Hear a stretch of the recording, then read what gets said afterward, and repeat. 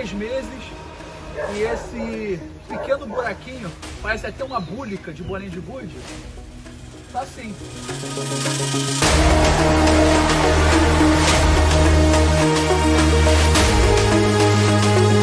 Estamos aqui no Grajaú, na entrada próxima ao Parque Estadual do Grajaú.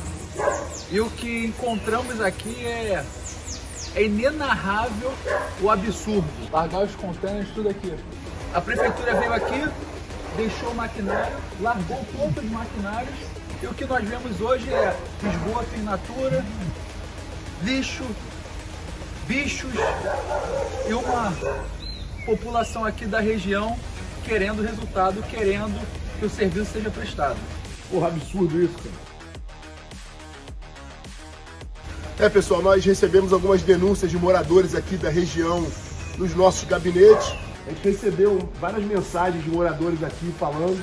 E viemos aqui, eu já conhecia, era um buraco crônico, mas a gente não sabia que tinha se transformado nessa cratera lunar, numa importante rua do Grajaú, na entrada do Parque Florestal do Grajaú, lugar onde as famílias, as crianças é, estão sempre presentes.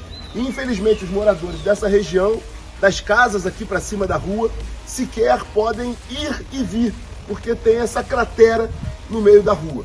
Mais um absurdo da Prefeitura do Rio de Janeiro, símbolo do descaso, da omissão e, sobretudo, da incompetência ao cuidar das pessoas.